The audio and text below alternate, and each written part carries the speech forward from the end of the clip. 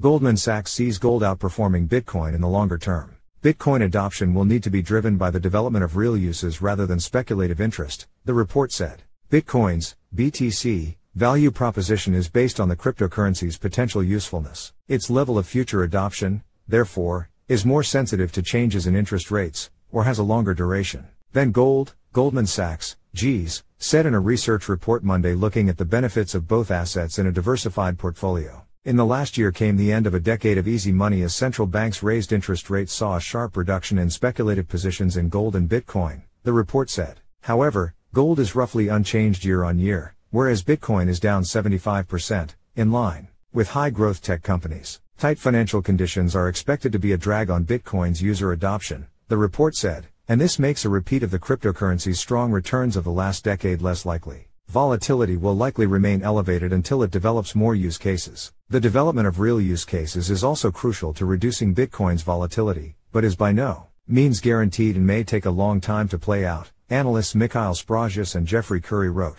Goldman says such conditions will be a smaller drag on the price of gold as it is a shorter duration real asset with developed user cases, adding that the metal may benefit from structurally higher macro volatility and a need to diversify equity exposure. The cryptocurrency's adoption has been boosted by easy financial conditions, the bank said, with some investors more willing to explore low liquidity, high risk slash return options like Bitcoin. With tighter financial conditions expected moving forward, speculative interest in Bitcoin is likely to decline.